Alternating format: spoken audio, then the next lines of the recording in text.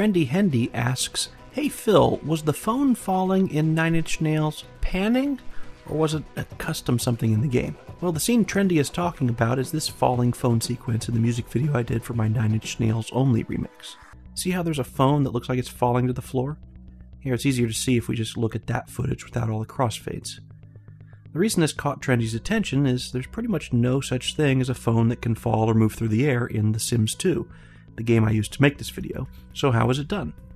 Well, in short, I used slowed down versions of some of the basic Sims phone handling movements, but I filmed them while wearing a custom skin I got from modthesims2.com that renders the character completely invisible. Have them talk on the phone or walk around with it in front of a green screen, and it's pretty much a disembodied telephone receiver. But because I caught some footage of it slowly moving, I was able to give the falling phone a more believable look than if I had just done this with a still picture of the phone. So all I needed then was a backdrop showing the appropriate falling speed I wanted to emulate. Then you bring in the cropped green screen phone footage, chroma key away the green screen, and voila, a falling phone. Notice the shadow of the phone that becomes visible as it gets close to the ground?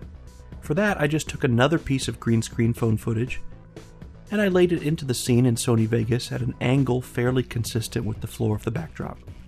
Then chroma key to isolate the phone image, apply a brightness contrast effect with brightness turned all the way down, which of course turns the image black.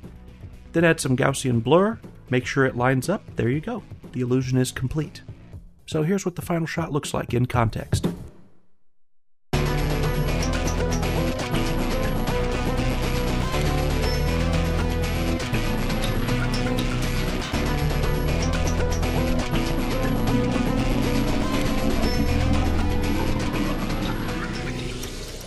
おやーやたたいはい。